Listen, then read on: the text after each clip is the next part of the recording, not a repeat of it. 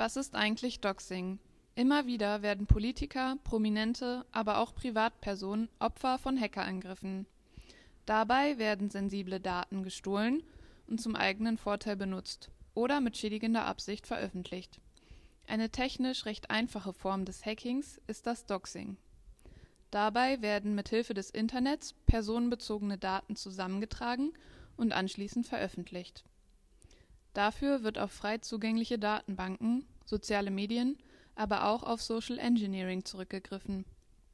Das passiert schneller als man denkt, denn jeder kann Doxing betreiben. Das Zusammentragen der im Internet kursierenden Daten unterscheidet sich kaum von der Arbeit eines Polizisten, Detektives oder Journalisten.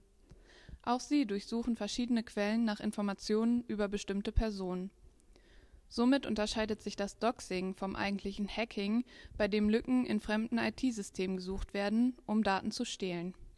Aber auch zuvor gehackte Daten können für die Doxer eine willkommene Informationsquelle darstellen.